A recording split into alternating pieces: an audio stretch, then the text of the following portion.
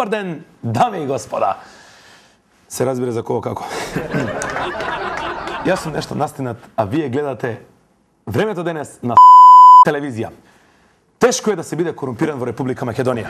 Ева јас два мандати пробувам, но никако да успеам. Рече денеска на едно новинарско прашање еден пратеник од парламентот кој што се разбира од неоправдани причини сакаше да остане анонимен. Неговата изјава предизвика лавина реакции од другите пратеници кои исто така се пожалија на строгите, праведни и нечовечки закони во македонското судство. Од тука, во наредните денови најверојатно ќе биде свикана вонредна седница на парламентот за да се разгледа можноста за промена на некои одредени амандмани во уставот.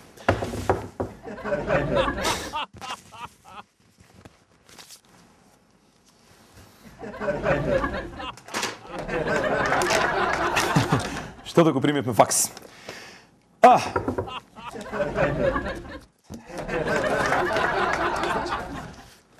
Од нашата базна станица Од нашата базна Од нашата базна станица Горно Конјари, Голубарникот, имаме вести. Имено, утро, во раните утрински часови, по долго и досадно боледување, во цветот на младоста во својата 120 година, почина истакнатиот професор Сидинам. Почина истакнатиот професор, автор на многу научни трудови во областа на литературата и хортикултурата, академикот тој тој. Тој тој е роден некаде конкретно 19 век и никој не знае точно каде и никој не знае точно кога, но од тогаш па наваму, тој целиот свој работен век во буквална смисла го посети на релаксирана на релаксирање на и така релаксираната атмосфера на меѓуетничките односи во нашава земја, но и во одборот на струшките ручеци вечери на поезијата. Како истакна деец со невиден само прегор А, не сум јас. Земаш учество на секоја трибина и семинар. Особено во тие трибини кај што имаше и јака дневница, гага храна, гага пиење. Се извинам. Последните години од неговиот живот го помина во кругот на академијата и во неколку кафанчиња во округот. Каде што знаеше да седне, да се нараче едно ракиче тука така. Па салатка тука. И ќе почна збори, Да збори, да збори, да збори, да збори, доста збори, збори за пикантериите на сексуалниот живот на војводите. Е, куче едно. Но, Имаме екипа на терен која што во моментов ќе види што нашите граѓани мислат за ова.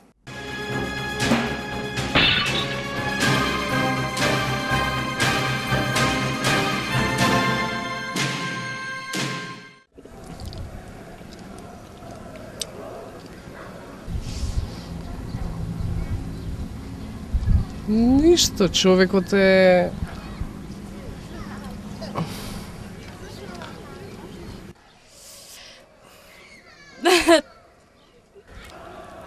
Што е зел? Што да мислам за него?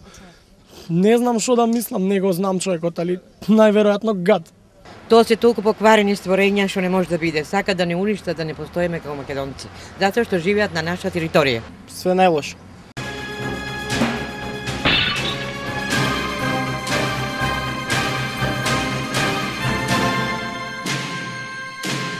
Тоа беше гласот на народот. Погребот на неговите посмртни останки ќе се изврши точно напладне со Гари Купер во главната улога на гробиштата кај Океј Корал. А сега, доволно беше за траур, одиме со ведри вести. Го имаме Силјан Штркот. Здраво, баце! Баце, со ова оплодување во инвитро, е, Не можам да постигнам ако ми веруваш. Нон-стоп сум на пат. Аве крилава не ме држат веќе. Се уморив од летање. Паце, ај ти стај малце, жити се. Ај да се одморам, а? Баце, баце, по, полека бе, баце. Баце бе се потроши, баце. Добре, до... О, среќен сум дека конечно работите тргнаа на подобро. О, машала. Баце, последниве години луѓето како да заборавија деца да прават. Изгубија способност за размножување баце. Познавам еден купарој, здрави, прави, абе не може да се оплодат, па мајка Јана. Племината ли е? До глобалното затоплување ли е? До адитивите во исхраната ли е? Никој не знае, баце. О, ама сега, клонк, клонк, сега е друго. И нивното раче ќе фати зајаче. Машала. Баце, да ти кажам, да имам. Да ти поблеску, баце, да те гледам убаво. Највеќе кеф ми направи за оние женине што имаат мерак за жени. Сега баце, и тие ќе може да се мрестат како пастрмки кога ќе им прдне. Само не знам што да правам со маживе што се љубители на мажи. Ама јас, јас сум оптимист. Ќе се најди за нив некое решение, ќе видиш. Баце, слушај, сега морам да одам, имам еден куп деца за дистрибуција. Ајде, чао, Тило. Сакаш едно? Мала шала.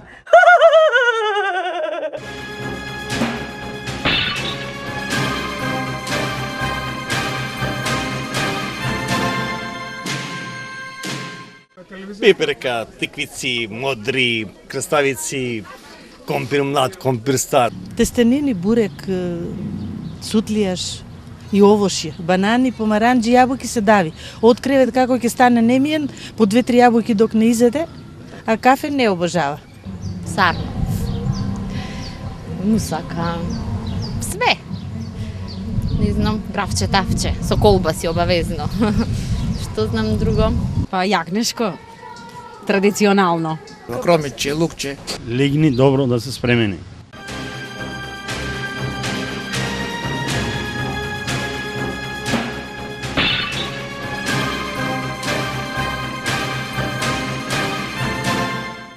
Машала, машала, машала, машала. Продолжуваме со временската прогноза. Како дежурен синоптичар го имаме Богот Перун, роден во Камерун, од мајка Перуника и татко Црнец. Од пола надоле, а победување Македонец.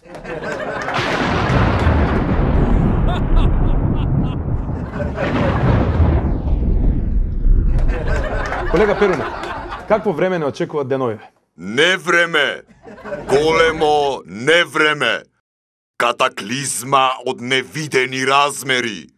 Мојата стаклена кугла никогаш не ме излажала, а за да се осигурам во прогнозите, Сабајлево гледав и на граф. Еве зашто станува збор. Струи од студен и топол воздух, дојдени од Атлантикот, ќе започнат да прават алијанса и да се мешаат точно некаде над владата на Република Македонија. што ќе доведе до силна циклонска активност со можност за формирање на торнада од пети степен. Очекуваме појава на силен ветар кој што ќе се движи со брзина од околу 50 километри на час.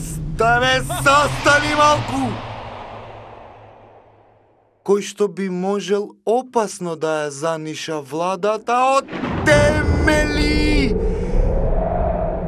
и дури да ја извади од кондури, ако не дај Боже, да се покаже психофизички нестабилна и кревка.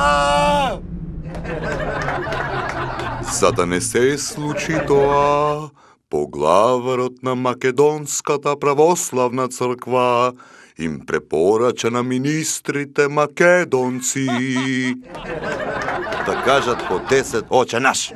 А доколку припаѓаат на албанскиот коалиционен партнер во власта, исто така со молитви да му се обратат на нивниот Бог и да го молат за помош. Ако сакаат помош од мене, нека остават еден бланко чек. Во случај, ако владата биде однесена од виорот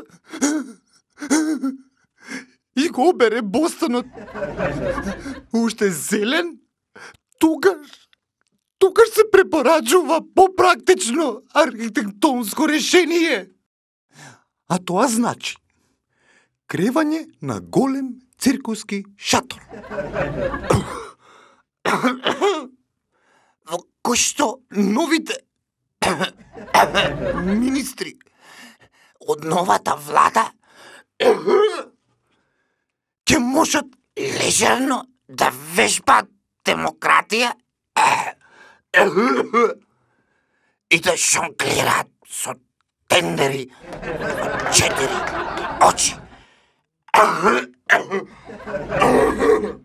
А што се однесува до температурата? Немам температура. Ха! Како Бог сум прилично студен и ладнокрвен, здрав како дрен. И да врне, и да вее, и бура да коси.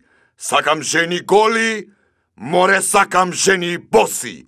И толку од мене.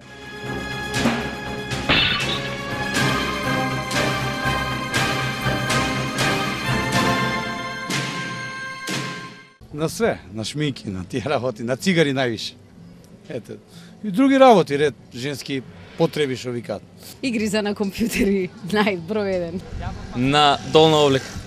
За швалери. Па на телефони, на камери, на апарати, на тоа. На убавина. Јасно, не желат за убавина, кажа. убавина не За пипер пат пижат малце потешко. Гардерова, така. И по некој ламно пивце. Па на се, ја мислам дека на се трошат пари. Буквално на се.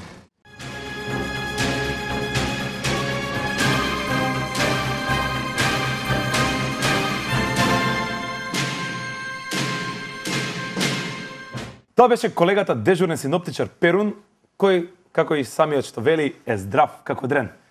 Што не би можело да се каже за нашиот следен соработник кој исто така ќе зборува за времето, но овој пат за неговите влијанија врз луѓето и нивното здравје. Добра вечер за нашиот советник за здравство и вечен пациент Болен Дојчин. Господине Дојчине, како сте? О, многу су болен. Готов су. Умирам. Па никој не ви брани да умрете, само кажете прво што имате да кажете. Значи, Извинете. О, Машко, многу ми е зорто торнада. Еднаш, на времето од некоја промаја, ме фати дрскајца. Абе, три дни од Кенев не можев да излезам. излеза. О, о, момент, момент. О, о, о, како ви олесна. О, Сестра ми Ангелина сто пати влезе да види до кај су, за да ме забриши. Заш јас одре убава газо, не знам кај ми е, и замисли. Како ќе влезеше, туку ќе паднеше во несвес од реата. О, о, и мене ми смрди исто. О, Абе, лајнама ми смрделе бетер од оние на црна рапина. О, еднаш, Ангелина и него го запришала и исто се ничкосала од смрадот. И си велам, ако од промаја ме фашта таква дрскајца, тогаш што ќе биди тако ме фати торнадо. О, сигурно прво ќе ме опфатат некои жештини во меот, како газија да се. И после ќе почна морници да ми лаза по грбов, па да ода надолу, надолу, и кој ќе почна, и кој ќе дојда до газот. Знаеш што ќе види? Ја, чекай, чекай, чекай, чекай. Експлозија! Држ ме, мајко, се испосарав.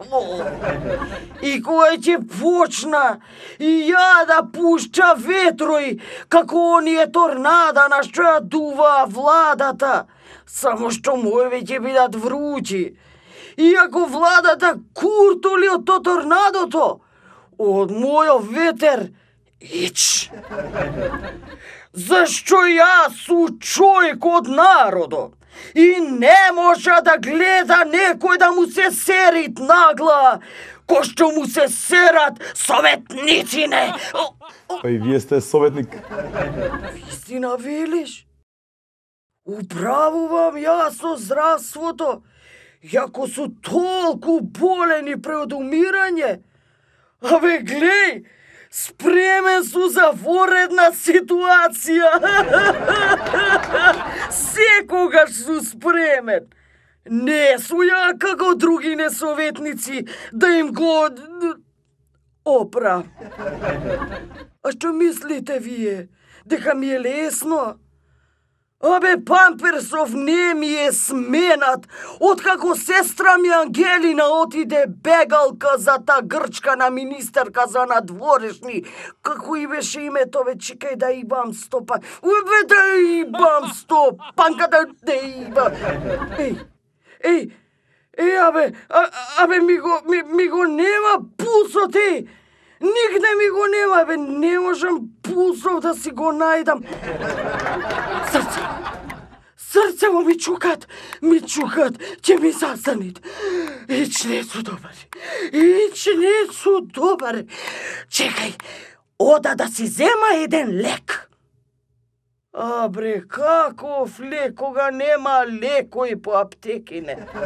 Ама ајде, ако, ако су советник, ќе си чека во ред, дур не ме најдат еден ден пупунец. Пупунец? Еј, да не су блед многу, бе, а? Така, малку. Мал, велиш малку, а? Ај, ај, готов су, ќе отида ја јабана и ќе останете вие без советник. Ќе останете без советник. Абе, си сбербати ве срамота, е.